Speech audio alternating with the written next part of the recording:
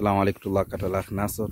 Eh, hii ni mizigo kwa ajili ya upauaji katika ile nyumba yetu kwa yule mzee alhamdulillah.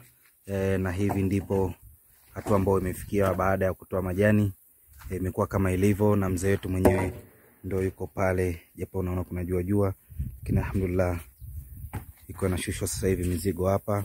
Kuna mbao, hili ni bati la futi kumi eh, na kuna hizi huko chini ni bati za futi nane ziko kwa chini kule. Alhamdulillah rabbil alamin.